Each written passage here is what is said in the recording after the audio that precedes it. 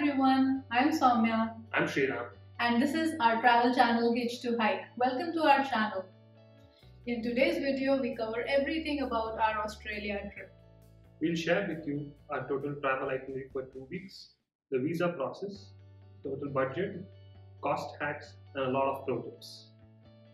So, our main draw to plan for Australia was to go diving in the Great Barrier Reef and to experience the popular city of Sydney. But to our surprise, Australia had so much more to offer. Since we had two weeks break, so we wanted to primarily cover the east coast of Australia. What you want to do in Australia is largely dependent upon your choices and preferences. Australia is a very huge country and covering every major city would be very difficult. We wanted to cover the major cities, the beaches, and the warm places of Australia when we were there. We traveled around early November, so tropical Queensland and Sydney was probably the best choice for us to cover the beaches and also do diving. And hence, that was a choice for doing. That was a reason for us to choose east coast of Australia for our travel. Let's get started with the itinerary. We flew from Bangalore in India to Sydney, Australia via Malaysia Airlines. After spending three days in Sydney, we drove down south to Jervis Bay. Jervis Bay is popular for whale watching and dolphin watching. From Jervis Bay, we took a flight to this beautiful place called Whitsundays, which is popular for its pristine white sand beaches. After exploring Whitsundays, we decided to drive up north to Cairns. Cairns is worth staying for four to five days at least because it has so much to offer, including the very popular Great Barrier Reef. Now, let's get to how you can spend your time effectively in each of these cities in the east coast of Australia.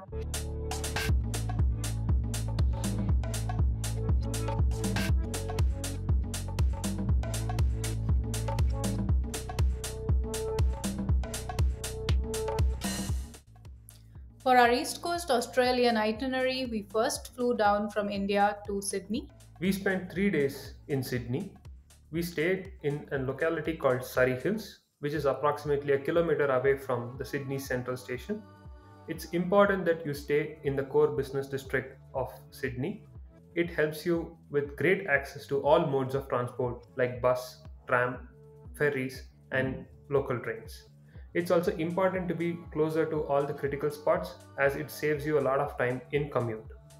In the three days, we spent a day visiting the Circular Quay and the Sydney Opera House. After that, we headed to the Manly Beach. On second day, we went to Bondi Beach and Taronga Zoo. Do not miss the bird show in Taronga Zoo. in the years to fall. So we really need to make sure that we protect them now so they don't just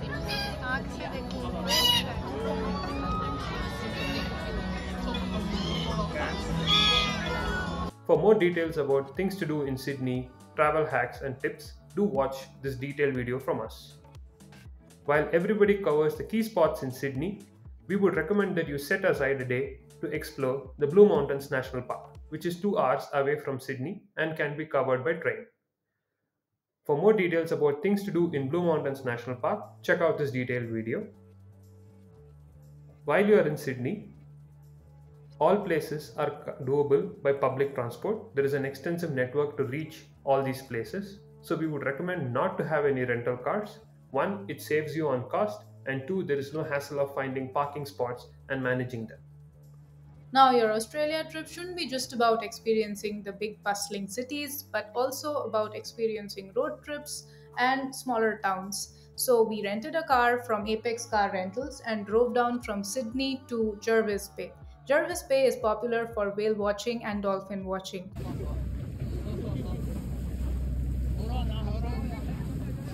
We stayed in this quaint town called Huskisson in the Jervis Bay Motel. Jervis Bay offers a lot of nice walking tracks along the ocean and also access to the whitest beach on earth, which is Hyams Beach. National parks are another attraction near Jervis Bay.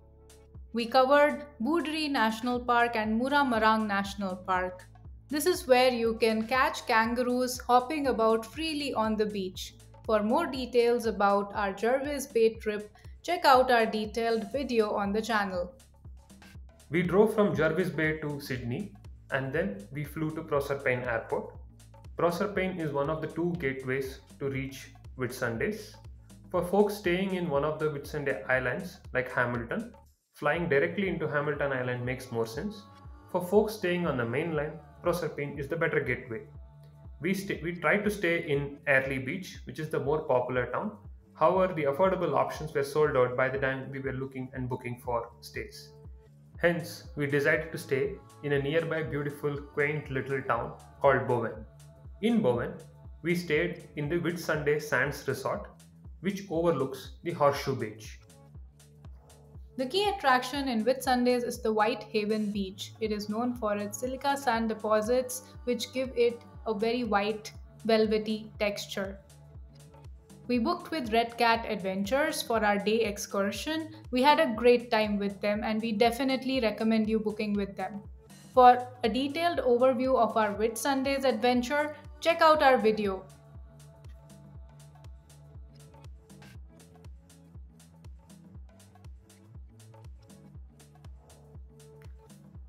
Our next stop was Cairns.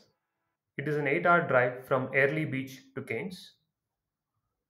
The drive is very scenic and beautiful as it runs parallel to the east coast of Australia and is totally worth it. Do make sure that you have enough time in Cairns as there are a lot of things to do. If you want to save on time, you can of course fly down from Airlie Beach to Cairns, but we definitely recommend this stretch uh, as a road trip drive. Cairns is mainly popular because it is the gateway to the Great Barrier Reef.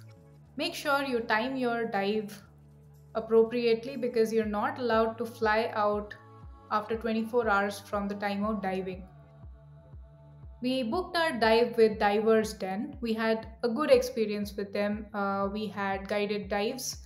Uh, Great Barrier Reef is definitely worth all the hype. We got turtles, big clams, of, co- of course, a lot of colorful corals. Uh, we booked three dives with them and it was very cost effective. They also provide lunch on board along with all the diving equipment that you need. The second attraction in Cairns, which we had no expectations at all from, was the drive around the Atherton Tablelands. It is popular for its waterfall circuit, which has a couple of waterfalls in close vicinity. Millaa Millaa Falls, which is Australia's most photographed waterfall, was definitely a good attraction. Next day, we headed to the Kuranda rainforest. It's one of the world's oldest rainforest, and if you are a train fan, you must do this scenic rail journey which starts all the way from Cairns Central and does a 2-hour ride uphill to Kuranda. The sky rail down gives you a beautiful view of the coral sea and is totally worth it. Our last day in Cairns was just for chilling around and exploring things in and around the city. So, in the first half, we just enjoyed spending time in the Esplanade pool in the Cairns Marina.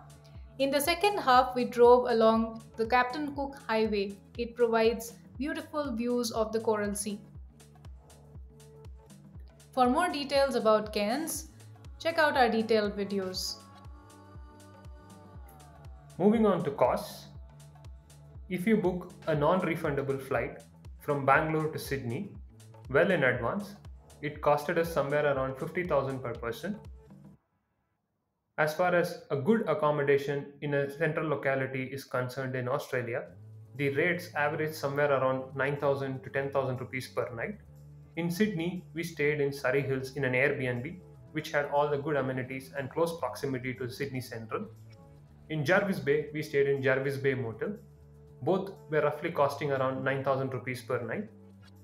As far as Bowen is concerned, we stayed in Whitsunday Sands Resort, which costed us around 8,000 per night. And in Cairns, we stayed in the Cairns Central area near the hospital in a hotel called as Cairns Queenslander Hotel. It was a very well maintained, spacious room and was totally worth the money for its location. It costed us around 8000 per night. All put together, for food plus accommodation and flights, it will cost you somewhere close to 2 to 2.5 lakhs. Outside this, you will have to plan for all the activities Whale watching costs you around $75 per person. This is the standard rate across all the operators in Jervis Bay. Scuba diving in the Great Barrier Reef will cost you around $200 per dive. It's more effective, cost effective if you do three dives. It costed us $270 per person for three dives with divers den. The Kuranda Scenic Railway will cost you around $120 per person, which includes the Sky Rail as well. Rest of it will be for fuel and car rental charges. Car rentals are quite high in Australia and they'll be somewhere around 8,000 to 10,000 per day. We recommend you to choose wisely on which are all the towns and days on which you need car rental. For places like Sydney and Cairns, we recommend that you do not need a rental car. Use rental cars only for places where you need to drive down to the outskirts or to a remote place. Net net, we were able to cover Australia in around 4 lakhs overall for two people with good coverage of two weeks and with all the related activities that one must do in the East Coast. While applying for the visa, we checked the Australian visa website we were applying from India. The website mentioned that they take about roughly 100 working days owing to high application volume. However, we were lucky. We got our visa in about roughly 8 to 9 working days. We have also had seen a lot of cases where people have got it in roughly within 1 to 3 working days as well. What we inferred was that if you have had prior foreign travel exposure in your passport, then the chances of you getting an Australian travel visa quickly was higher. However, do keep in mind that visa processing might take time, so plan your airline and hotel bookings once you have the visa in hand. Do keep in mind that you don't have to book your flight tickets for getting an Australian visa. So first have your visa in hand or at least a rough ETA on when your visa, visa is going to come and post which you can book your flight tickets.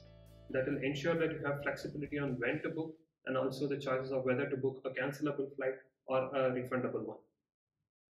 The only thing you need is an itinerary as well as booked places of stay. That's what will be needed by the Visa Council. One good thing uh, about our visa was that it came with a validity of three years. So, hey, that means we can enter Australia any number of times in the window of three years, but it's not guaranteed. It depends on a case to case basis. Irrespective, do plan ahead for your visa so that you don't miss out on any last minute deals, etc.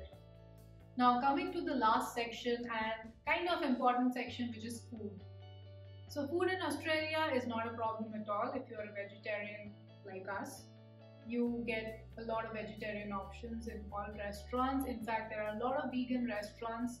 We had a lot of delicious vegetarian pizzas everywhere. Again, if you are not so sure, uh, you can always rely on subway outlets, which are pretty much everywhere in the cities. Hence, that was all about our Australian trip. If you're planning for Australia, don't worry about it. It's totally doable with your own planning. You don't need to go after a travel operator. It's a very good city for travel. People are very friendly and you can pretty much manage on your own. So get to planning and have a great trip in Australia. So that was all for today's video. Do like, share and subscribe our channel Hitched to Hike. We're also there on Instagram in case you want to DM us about any travel queries. We post there about daily travel inspiration. So do follow us there as well. Thank you. See you until next time. Bye bye.